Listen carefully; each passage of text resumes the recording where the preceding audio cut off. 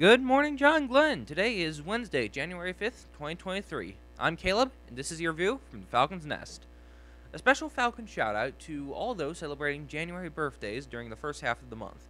That includes Mr. Simpson and Miss Rummel, and Miss King.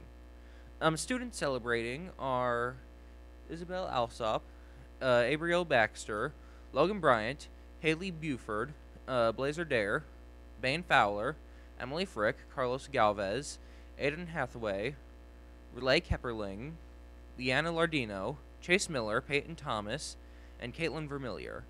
Buffalo Bills player Damar Hamlin collapsed and went into cardiac arrest after colliding with a Bengals player during Monday night's NFL game. Cardiologists have expressed online their belief that Hamlin suffered from what is known as commotio cordis, a potentially fatal low mid low mild chest wall impact.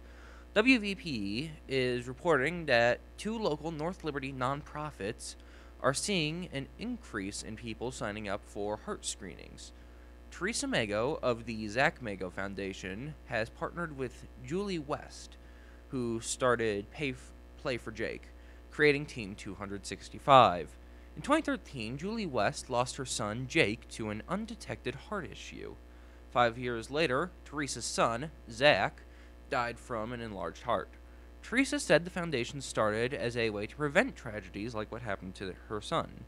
Team 265 goes to schools to provide comprehensive tests, like an ECG and a limited echo, to rule out conditions that could cause the child to go into sudden cardiac arrest. They also provide height and weight measurements and blood pressure readings. The only way to detect a heart condition is through heart screening. According to the National Library of Medicine, 20,000 children suffer from cardiac arrest annually due to undetected heart abnormalities. Initiatives like Team 265 help prevent future casualties by catching conditions early on. Team 265 has monthly screenings at the Walkerton Youth Building. Next event is Saturday, February 4th. That's everything we have here. Now the weather with Canyon. For today, it's going to be snowy, degrees of 36, real fair 34, wind speed is going to be southwest, 9 miles per hour. For the city forecast, for Friday, it's going to be a high 35, low 23, cloudy. For Saturday, it's going to be a high 37, cloudy, and low 25. And for Sunday, it's going to be a high 36, cloudy again, with low 26. Now, sports with Nathan.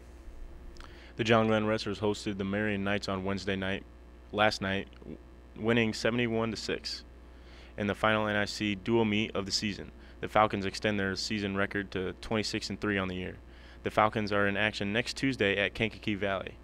The winners for each weight class are 106 Austin Pranger, 113 Brody King, 120 Walter Drews, 126 Bentley, Whit- Bentley Whitmer, 138 Brady Hesh, 145 Eli Schultz, 152 Charlie Hill, 160 Sam Strange, 170 d- was a double forfeit, 182 Mason Cobelt, 195 Aiden Smigelski, 220 Eli Wallace, and 285 Kim Hardesty. In Indiana girls high school hoops, there is a new name atop the Indiana Max Preps ratings. The Zionsville Lady Eagles are number one. Twin Lakes is the highest ranked 3A team.